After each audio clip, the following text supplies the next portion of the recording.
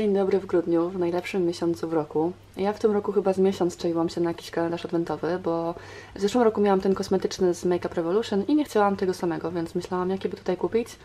I ostatecznie na żaden się nie zdecydowałam, tak więc zostaję z kinderkami, z czekoladkami w tym roku. Mm, Ale cóż, też będzie fajnie na pewno. Kawka jest, więc czas otworzyć czekoladkę. Dobra, gdzie tutaj mamy jedyneczkę? Tu jest jedynka. E, Ja już w ogóle otworzyłam tutaj, ponieważ ten kalendarz jest w ogóle Krzysztofa, ale sprawdzimy, czy jest to samo w obydwu okienkach. Tak, w obu okienkach było dokładnie to samo, czyli Kinder Mini, tylko w jednym był inny obrazek, w jednym był Mikołaj, a w drugim pingwinek. Pingwinek oczywiście jest bardziej uroczy. Zaczął się grudzień, więc czas wybrać sobie jakąś świąteczną książkę. Tak jak mówiłam już kilka razy, nie wiem czy na kanale, czy na Instagramie, w grudniu właśnie planuję przeczytać kilka takich świątecznych książek. Tutaj możecie zobaczyć kilka, które całkiem losowo pobrałam mm, na Legimi. I chyba zacznę od tej, czyli od książki, która nazywa się Romans pod choinkę. Tylko dlatego, że tutaj akcja rozgrywa się w Nowym Jorku. Nie wiem nic o tej książce, nie czytałam żadnych recenzji, po prostu Nowy Jork i okładka mnie przekonały i chyba od tej książki sobie zacznę, także zobaczymy. Cześć, ja jestem Marta i zapraszam Was dzisiaj na taki mini vlogmas, to znaczy taki mini projekt, w którym chciałabym publikować vlogmasy, ale nie codziennie czy nie co dwa dni, tak jak to było w zeszłym roku, tylko po prostu raz na jakiś czas. Chciałabym, żeby chociaż cztery takie filmy w grudniu się pojawiły, no i właśnie to jest pierwszy z nich. Jeżeli chodzi o to, jak sobie wyobrażam te vlogmasy, wiecie, w pierwszym filmie zawsze musi być taka dłuższa pogadanka, żeby wszystko wytłumaczyć, wszystko tutaj e, ustalić, co i jak. Więc ja sobie wyobrażam to tak, że oczywiście bardzo chciałabym jakoś spędzić z Wami ten świąteczny czas i chciałabym, żeby taka świąteczna atmosfera na moim kanale była, e, ale niestety w tym roku nie mam aż tyle czasu, ile miałam w zeszłym, więc tych vlogmasów nagrywać co drugi dzień po prostu nie dam rady. Dlatego chciałabym to zrobić tak raczej spontanicznie, po prostu wiecie, nagrywać coś przez cały czas, a jak mi się uzbiera materiał, to zmontować to wszystko i wrzucić właśnie w formie takiego luźniejszego vloga. Chociaż będzie to też troszkę reading vlog, to znaczy chciałabym, żeby był połączony z czytaniem, ponieważ w każdym takim vlogu planuję przeczytać jedną świąteczną książkę. E, I pewnie już widzieliście na poprzednich przebitkach, jaką książkę wybrałam sobie na ten vlog. Jest to książka Romans pod choinkę, książka, która urzekła mnie opisem Nowego Jorku i tym, że właśnie akcja rozgrywa się w Nowym Jorku, że jest tam dużo tego miasta, E, więc pomyślałam, że będzie to coś naprawdę przyjemnego i fajnego na początek tej przygody ze świątecznym czytaniem. O książce Wam jeszcze za chwilkę opowiem, natomiast jeżeli chodzi o same filmy, same te, no nazwijmy to vlogmasy, e, to chciałabym, żeby takie filmy, w ogóle filmy na moim kanale w grudniu, tak jak u chyba wszystkich twórców na YouTubie, pojawiały się częściej niż zwykle, czyli częściej niż raz w tygodniu. Będę się starać, aby było to dwa razy w tygodniu, począwszy właśnie od tego drugiego tygodnia grudnia, czyli zaczynając od 6 grudnia. Nie obiecuję, że mi się to uda, ale w grudniu jest sporo takich filmów, które pojawiają się tylko raz do roku, typu wiecie, najlepsze książki roku, najgorsze książki roku, plany czytelnicze na kolejny rok, dużo takich podsumowań, więc tego materiału naprawdę jest sporo, tylko jeszcze trzeba znaleźć czas, żeby to usiąść i wszystko nagrać. Także będę się starać, żeby właśnie te filmy pojawiały się dwa razy w tygodniu, oczywiście przeplatane tymi vlogami, także tymi vlogmasami, więc mam nadzieję, że będzie się tutaj dużo działo i że miło spędzicie ze mną ten przedświąteczny czas i będziecie ze mną odliczać razem do świąt. Jak wiecie, ja kocham święta, kocham grudzień, e, święta, Mikołaj, moje urodziny są też w grudniu, także dla mnie jest to naprawdę najlepszy miesiąc w roku. Czuję się po prostu jak w wesołym miasteczku przez cały miesiąc. I sama również uwielbiam oglądać vlogmasy u innych. Oglądam oczywiście co roku vlogmas u Panny Sasny, e, ale oglądam też u Laury Ogrodowczyk, która w tym roku chyba coś mówiła, że nagrywa swój ostatni vlogmas, także e, oglądam też u niej. Polecaliście mi też na Instagramie Alice coś tam channel i, i też zerknęłam do niej, także też sobie zasubskrybowałam ten kanał, też będę oglądać, ale jeżeli macie jeszcze jakieś fajne vlogmasy do polecenia, takie wiecie, klimatyczne, dużo świątecznych dekoracji, dużo takiego świątecznego naprawdę klimatu, to dajcie znać na dole w komentarzach. Nie muszą to być filmy, nie muszą to być kanały takie typowo książkowe, mogą być o kosmetykach, w ogóle takie lifestyle'owe. Ja bardzo chętnie sobie będę zerkać właśnie na, na takie świąteczne filmy na innych kanałach, także koniecznie dajcie znać, jeżeli macie kogoś takiego, z kim uwielbiacie spędzać ten przedświąteczny czas. Na ten moment ode mnie to by było na tyle, jeżeli chodzi o taki wstęp dotyczący tych filmów. Mam nadzieję, że to jest wszystko mniej więcej w miarę jasne, chociaż mam wrażenie, że opowiadam dosyć chaotycznie, ale jestem bardzo podekscytowana na grudzień, także musicie mi to wybaczyć. Zostawię Was teraz z przebitkami, ale wrócę do Was za chwilkę, ponieważ przeczytałam już e, fragment pierwszej książki, to znaczy fragment, w zasadzie to połowę pierwszej książki i chciałabym troszkę Wam opowiedzieć o moich wrażeniach, więc na razie zapraszam na przebitki, a potem na pierwsze wrażenia z książki Romans pod choinkę.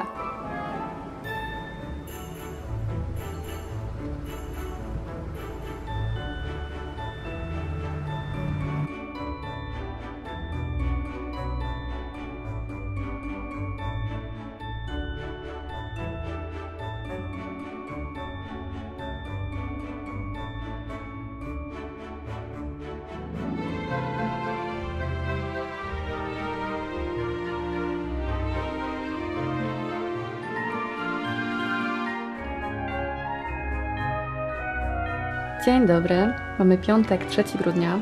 Ja mam dzisiaj i jutro naprawdę sporo pracy przed sobą, więc zrobiłam sobie dzisiaj w takim dużym kubku podwójne cappuccino. Mam nadzieję, że mnie postawi na nogi, bo już e, jest rano, a mam za sobą jedne zajęcia z angielskiego. Za chwilkę muszę się przygotować na kolejne. Jutro mam jeszcze przygotowania do egzaminu Cambridge, um, oprócz normalnych zajęć, także naprawdę sporo wyzwań przede mną w najbliższych dniach i muszę dzisiaj wszystko przygotować, żeby jutro ze spokojną głową iść do pracy, także życzcie mi powodzenia, a ja Wam życzę miłego dnia. Cześć, witajcie ponownie. Wracam z małym podsumowaniem pierwszej połowy książki Romans pod choinkę Katarzyny Bestner. Czytam te książki na Legimi i większość tych świątecznych książek będę czytać na Legimi, tak więc tutaj gdzieś obok na pewno Wam wkleję okładkę. E, okładka jest bardzo ładna, taka troszkę rysunkowa, troszkę komiksowa, naprawdę przykuwa wzrok. Opis też brzmi ciekawie, ponieważ mamy mężczyznę 35-letniego, który mieszka w Nowym Jorku. Jest takim, wiecie, mężczyzną, który został gdzieś tam w przeszłości skrzywdzony przez swoich bliskich i w związku z tym on nie chce się angażować, nie chce się nigdy zakochać, raczej nie interesują go jakieś takie głębsze relacje, tylko przelotne i pewnego pewnego dnia ten mężczyzna poznaje niewidomą kobietę. No i oczywiście zaczyna w stosunku do niej y, żywić jakieś takie głębsze uczucia, co wcześniej mu się nie zdarzało. Brzmi to oczywiście sztampowo, no ale wszystkie te książki świąteczne takie dosyć przewidywalne są. Natomiast brzmi to fajnie. Brzmiało to na tyle ciekawie, że ta książka mnie zainteresowała i wybrałam sobie właśnie ją na pierwszy dzień grudnia, na początek grudnia. Przeczytałam połowę i niestety nie był to dobry wybór. Ta książka jest y, no, słaba, jest bardzo słaba. Po pierwsze, język jest strasznie wulgarny. Wiecie, ja nie mam nic przeciwko wulgaryzmom, ale kiedy te wulgaryzmy są używane w takim kontekście po prostu, kiedy tego wymaga sytuacja, kiedy pasują do kontekstu albo kiedy są po prostu zabawne. Natomiast tutaj autorka je wciska w tak głupi sposób, w tak durny sposób, który w ogóle ani nie jest śmieszny, ani nie jest potrzebny. Po prostu czytając to czuję się zażenowana. E, główny bohater to jest w ogóle taki, wiecie, typowy samiec alfa, który właśnie się nigdy nie zakochuje, tak jak wspomniałam. E, I w ogóle, wiecie, wszystkie laski, z którymi on sypia są głupie, puste, łatwe, no bo idą z nim do łóżka na pierwszej randce. Natomiast on jest w porządku, wiecie, to, że on idzie z tymi kobietami do łóżka też na pierwszej randce, no bo oboje są na pierwszej randce, to oczywiste. E, to jest jakby w porządku, siebie w ogóle nie ocenia źle, tylko oczywiście te kobiety są głupie i łatwe, ale poza tym on też nigdy w życiu im nie daje szans. Wiecie, te kobiety chciałyby, co jest też podkreślone, nawiązać z nim jakąś tam relację, chciałyby się z nim spotykać, randkować i tak dalej, i tak dalej, poznać go lepiej. Nie zaprasza ich też do siebie, do mieszkania, ponieważ nie chce w swoim mieszkaniu, w swoim łóżku gościć kobiet na jedną noc. E, no i właśnie zmierzam do tego, że nie daje im szansy na rozmowę, ale twierdzi, że one są głupie i że nie mają nic do powiedzenia. No, jak mają mieć coś do powiedzenia, skoro nie daje im szansy? Ten facet to jest taki, wiecie, typowy strażnik patriarchatu, który po prostu wszystkie kobiety uważa za głupie, łatwe i w ogóle nie ma żadnej wartościowej. No ale ta jedna, w której się zakochuje, to jest ta wyjątkowa, zupełnie inna od innych, wiecie, taka kobieta inna od reszty, nie jesteś taka jak wszystkie. No straszne to jest naprawdę i strasznie się to czyta, biorąc pod uwagę fakt, że napisała to też kobieta. Jest to takie po prostu, no niesmaczne i bardzo nieprzystające do czasów, które mamy obecnie i do, wiecie, takiego dyskursu społecznego, który gdzieś tam obecnie się rozgrywa. Bardzo, bardzo źle się to czyta. Te dialogi są straszne, te przekleństwa są bez sensu. On w ogóle, e, ten główny bohater ma na imię Ray e, i wychowuje go ciocia, ponieważ rodzice go porzucili, kiedy był dzieckiem i on e, mieszkał z tą ciocią przez jakiś czas, teraz mieszka sam, ale z tą ciocią właśnie też porozumiewa się w taki bardzo wulgarny sposób. Nie, nie rozumiem w ogóle czemu. Ta kobieta ma prawie 70 lat, a ciągle w tych ich dialogach są wulgaryzmy. Ciągle używają po prostu przekleństw bez sensu, całkowicie bez powodu. Ta ciocia w ogóle ma jakąś dziwną wojnę z swoją sąsiadką i robią takie rzeczy, rzeczy, że na przykład sikają sobie do butów. W ogóle kobiety 70-letnie sikają sobie do butów. To jest absurd. Naprawdę ta książka to jest absurd.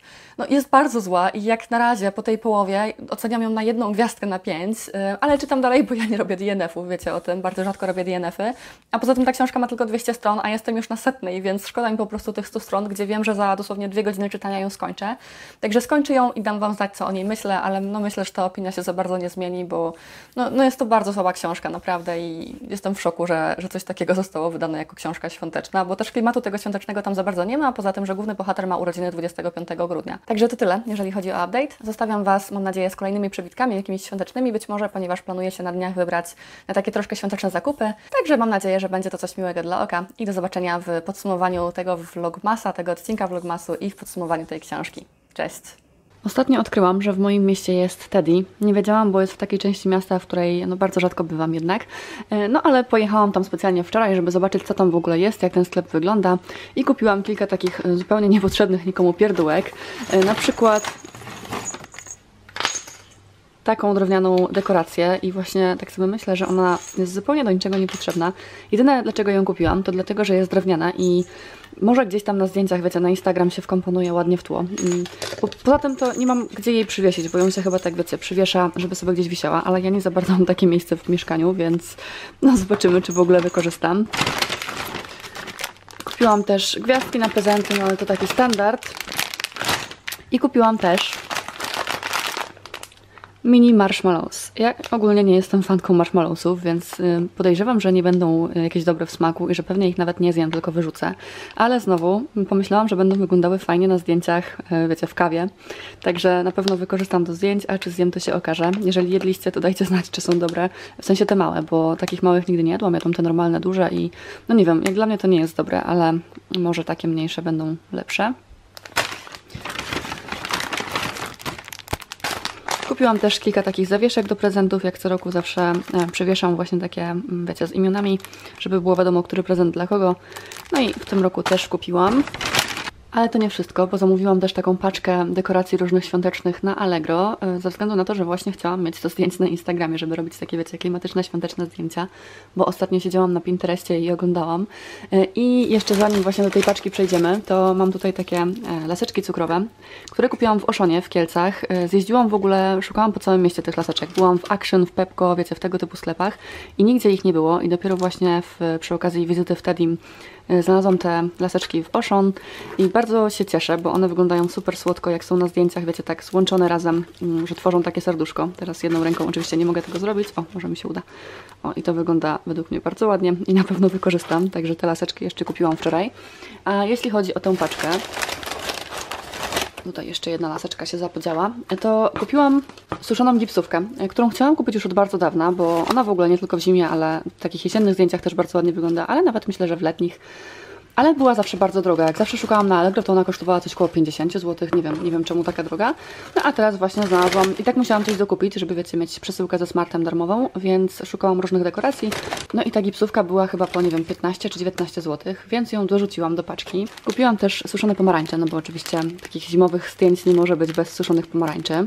Poza tym takie gwiazdki na takich długich wykałaczkach i też po prostu kupiłam je z myślą, że gdzieś tam je, wiecie, porozrzucam w kadrze w tle i, i będą robiły za tło i myślę, że, że się przydadzą. One nie były jakieś drogie, więc, więc dorzuciłam do tej paczki tak jak mówię i tak musiałam dociągnąć do 40 zł, żeby mieć darmową wysyłkę, więc, więc myślę, że się przydadzą.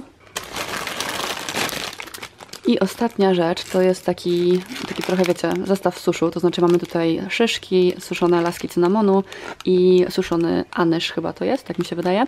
E, niestety te laski, jak widać, się bardzo połamały w transporcie. Szkoda, bo na zdjęciu wyglądały tak ładnie, wiecie, w całości. Jest chyba kilka jeszcze takich całych, no ale wysypię sobie to na jakąś miseczkę może i, i zobaczę, jak to wygląda. No, także takie zakupy. Mam nadzieję, że teraz już będę mogła robić świąteczne zdjęcia, bo jest dzisiaj 5 grudnia, a ja jeszcze nie mam żadnego zimowego zdjęcia na Instagramie, także trzeba dzisiaj ponadrabiać.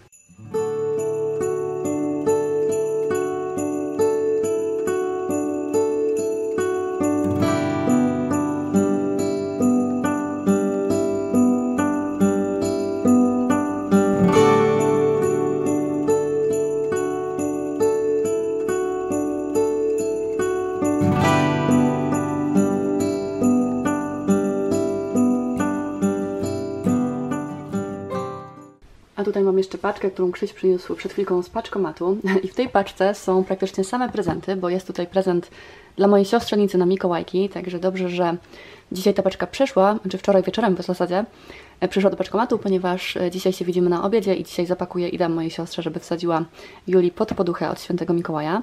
Jest też prezent dla mnie od moich rodziców na gwiazdkę i prezent dla mnie od Krzyśka e, pod poduszkę też na Mikołaja. Także jak widzicie same prezenty, ale to może właśnie nie będę Wam teraz pokazywać, tylko, znaczy tych moich, pokażę Wam co kupiłam dla Julii, dla mojej czterolatki, dla mojej czteroletniej siostrzenicy.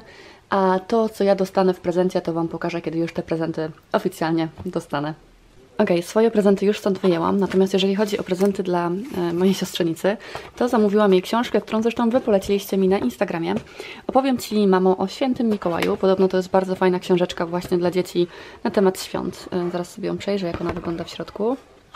Wygląda bardzo ładnie, mam nadzieję, że jej się spodoba. A druga książeczka to coś, co e, zamówiłam, ponieważ książ inna książka, którą zamówiłam, były to chyba Elfen Ratunek, była niedostępna. To znaczy po paru dniach dostałam wiadomość od biura obsługi klienta, że jednak tej książki nie mają i czy chciałabym wybrać coś w zamian, więc dobrałam Kicie Kocie. Wiem, że Julia czyta Kicie Kocie, lubi Kicie Kocie ogólnie, więc e, pomyślałam, że książeczka na święta też e, jej dokupię po prostu w zamian za tamtą. Szkoda mi tych elfów, bo ta książka naprawdę zapowiadała się bardzo fajnie.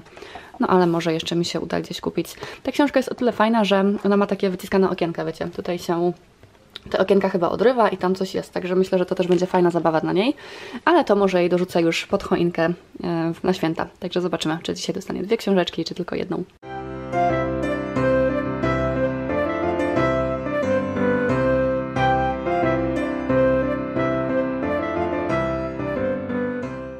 Cześć, witajcie ponownie. Dzisiaj przychodzę już z takim ostatecznym zakończeniem i podsumowaniem tego pierwszego vlogmasa, ale również z moją pełną opinią książki Romans pod choinkę. Skończyłam ją, doczytałam do końca. Ostatecznie oceniłam ją na dwie gwiazdki na pięć. Muszę przyznać, że ta druga połowa była odrobinkę lepsza. Tylko odrobinkę, ale jednak na tyle, że podniosłam tą jedną gwiazdkę, ponieważ kiedy nasz główny bohater się jednak zakochał, to przestał być takim, wiecie, bucem totalnym, przestał aż tak bardzo przeklinać, zrobił się taki bardziej no, normalny, powiedziałabym. I też sama książka zmieniła się z takiej bardzo wulgarnej i cringe'owej historii na coś takiego typowo właśnie lekkiego, przyjemnego, świątecznego, chociaż tak jak wcześniej wspomniałam, tych świąt w tej książce było stosunkowo niewiele, poza tym, że było wspomniane to, że główny bohater jest urodzony tego dnia, ale też dwójka jego najlepszych przyjaciół y, wybrała sobie ten dzień na ich datę ślubu. No i właśnie, w drugiej części tej książki mamy okazję bliżej poznać Holdena i Harper, którzy są bliskimi przyjaciółmi Reya i ta para troszkę tę książkę uratowała, ponieważ oni byli całkiem fajnymi bohaterami, a na pewno bardziej znośnymi właśnie niż, niż Ray, ponieważ po pierwsze nie przeklinali bez sensu, w ogóle nie wplotali tych przekleństw w beznadziejnych momentach.